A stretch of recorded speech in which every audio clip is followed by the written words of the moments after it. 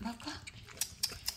우리 테디하고 우리 루이 곰국 먹방 먹방 하는 거예요. 엄마가 어제 밤새도록 소뼈 확 과갖고 뽀얀 국물 내서 뼈다귀는 저 뭐지 옆에 또치가 얼쩡거리니까 루이가 싫어하네. 국물 먼저 먹는 거 봐. 우리 테디 고기 다 건져 먹었네 벌써. 테디가 머리가 길어서 잘 안 보이네. 곰탕 먹방입니다. 얘도 루이, 루이도 폴로처럼 먹네. 가까운 거는 애껴 막 애껴놨다가 늦게 먹는 스타일. 이거 봐. 국물 다 이제 고기 먹는다. 어이구, 어이구, 어이구.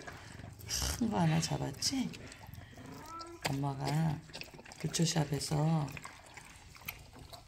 부처샵에서 소뼈 기름 없고 살 엄청 붙은 게 어제 등짝 두, 두, 두 짝을 샀더니 32불밖에 안 나오는 거야. 그거를 어제 밤새 봤어요.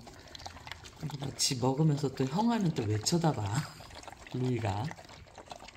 엉아는 우리 우리 테디도 고기 남겨놨었구나. 어, 이렇게 맛있게 잘 먹냐? 곰탕 먹방입니다.